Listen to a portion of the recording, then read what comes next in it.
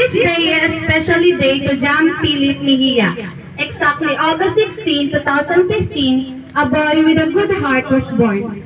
Alam ko ang araw na ito ay ang pinakahihintay mo. Sige na, continue mo na. Sige na, Celebrating a birthday is the most awaited part of our life.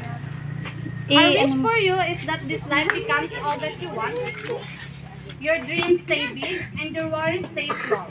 You never have to carry more than you can hold. And while you are out, there are getting where you're getting to.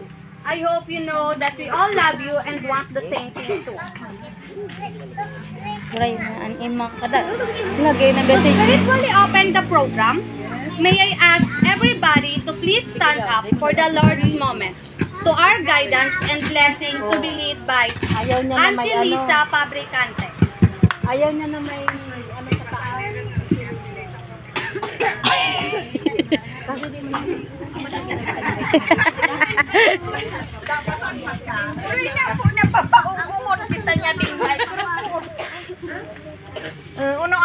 taas. Landi talaga ni ano. Calling the person. Hello. Ako po magidak na magkapit niya. Ah, bilang natawan kita ni usag na numero dito. Sa birthday Uy, ni. Pili. Ah, magtirindag po kita kami. Diba? Stand. Tayo na, boy. Ah, mga ipatnod, ibot ang tapuas sa atin ng sabiri sa pagpamili sa mahal na Diyos. Asin sa usad na aldaw na pinakadakulong okasyon ni Pilip. Sa ngaranin amanin akin ng Espiritu Santo. Amen.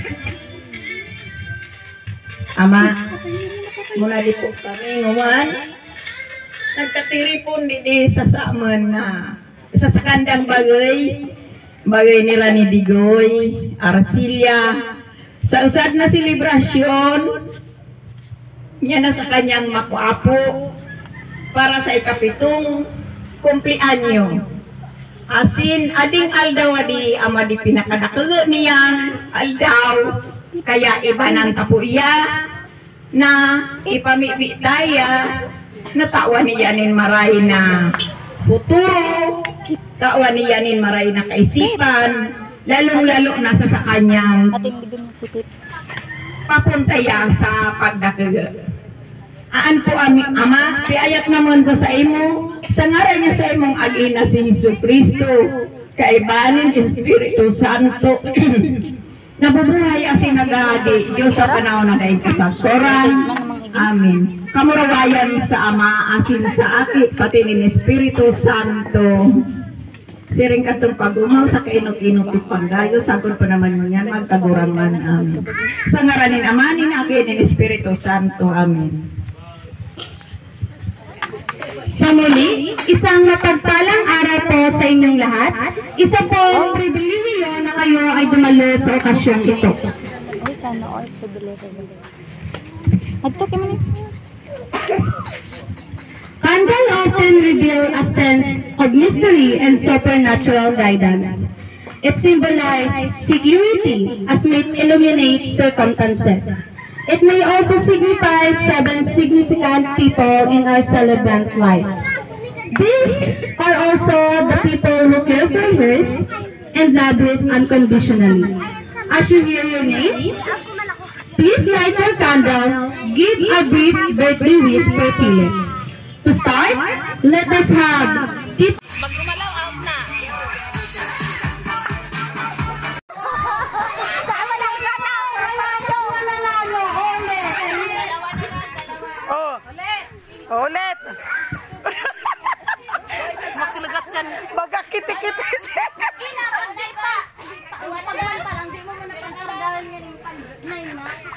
Ala, basta na kuma. Basta imsi. Doktor. Naibi sa... Kada yan, sabi ulit. Dila, hirap na si Tama na ang. Oo, na sana. Oh, winner na. oh, sige. Amo kaya na ko man sa patawan ko. Ano, gibawi? Oo, oh, oh, sige. Sad pa. Music.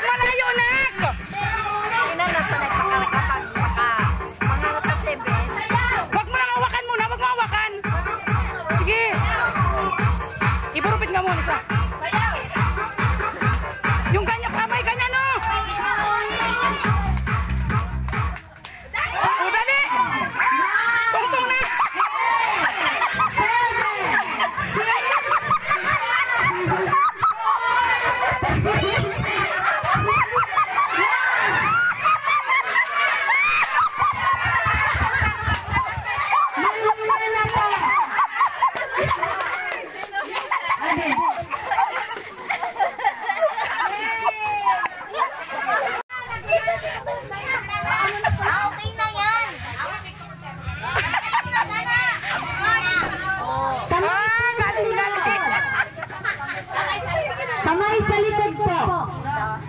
Yung kamay sa likod daw, bawal. Kamay sa